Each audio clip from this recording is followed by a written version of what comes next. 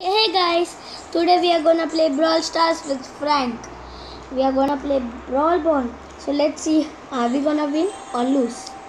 So our team is good. Let's see, are we gonna win?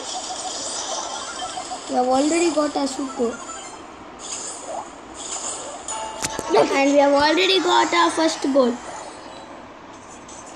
Let's see, now we can win. It's okay.